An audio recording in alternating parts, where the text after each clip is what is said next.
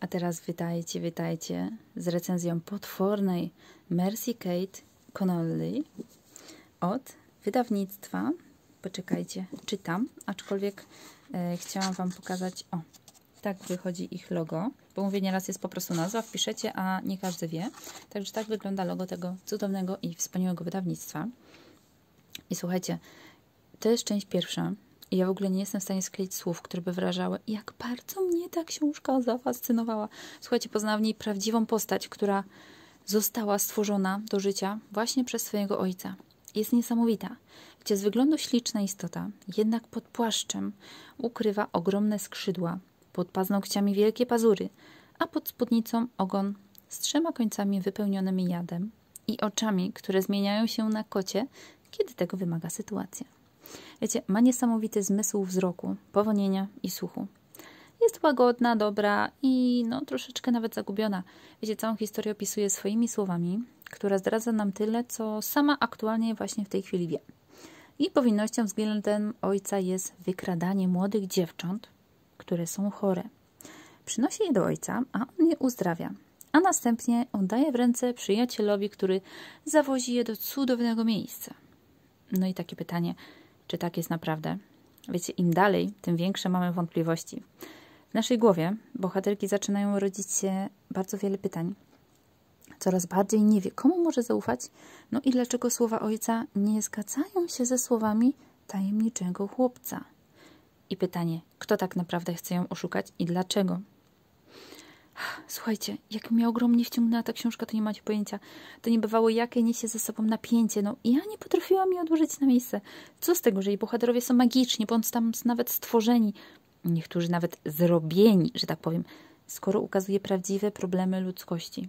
Wiecie, mamy tu pierwsze zauroczenia, tęsknoty za rodziną, świadomość właśnie, że jest się innym, kradzieże dzieci, głosy sumienia, kłamstwa, manipulacje, fałszywy obraz świata – to wszystko sprawia, że ta książka jest naprawdę mega wyjątkowa. Wiecie, niepojęty był dla mnie styl autorki, który potrafił odtworzyć wspomnienia i dosadnie oddać ich klimatyczność. Wiecie, moment, kiedy dziewczynę e, nawiedziła, nawiedziła wizja matki, ona poczuła taki dotyk jedwabiu i spokoju, jaki był właśnie z jej z rąk. To tak strasznie wzruszało. To były niby takie przebrys, przebłyski, których y, no, nie rozumiała, bo nie wiedziała skąd one się wzięły, bo jej ojciec zrobił tak, że po prostu nie miała pamięci, twierdząc, że e, nie udało mu się jej uratować. Następnie wracaliśmy do chwil sprzed wizji i ona w ogóle powracała stylem pisarskim do wcześniejszego momentu. Wiecie, tak było za każdym razem, jakby nagle, nie wiem, siedząc przed telewizorem, ukazało nam się dziecko, które zmarło i które wiedząc, że jest duchem, przytulał nas i zapewniało, że jego miłość do nas nigdy nie wygaśnie. Następnie odpłynęło, a my buch, powróciliśmy do poprzedniej chwili, nie wiedząc, czy to była wizja, czy sen. No niesamowite. Gdzie to książka, której się nigdy nie zapomni. Idealny prezent pod choinkę, nie tylko dla młodzieży, ale i naprawdę dla starszych osób, którzy lubią właśnie powracać do wspomnień.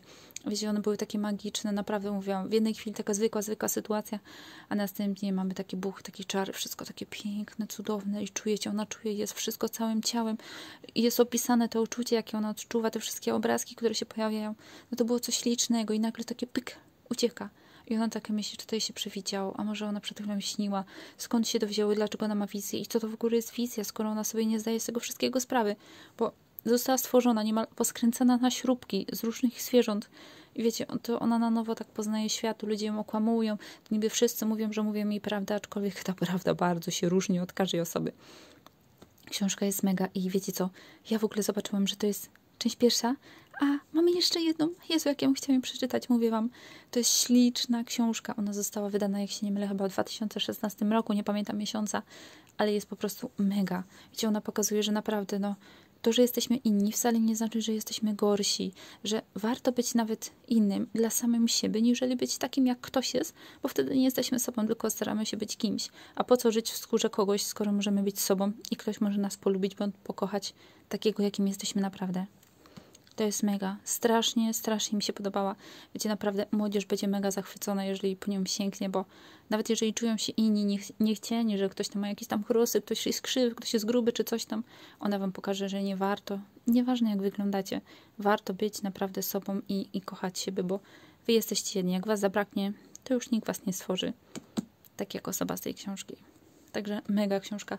Bardzo, bardzo Wam ją polecam. Śliczna w ogóle okładka, przepiękna. Naprawdę, wiecie co, cudownie się trzyma, palce się nie ślizgają, jest po prostu przepiękna. Bardzo Wam ją polecam jako prezent gwiazdkowy, ale mówię Wam, czuć taki niedosyt, że warto po prostu dostać dwie książeczki. Jedną część i drugą. Jeszcze nie wiem w ogóle, co jest w części drugiej. Widziałam tylko, że chyba na obrazku była jakaś tam czerwona, ale po prostu no, jestem nią tak zafascynowana, że marzę o tym, żeby przeczytać drugą część.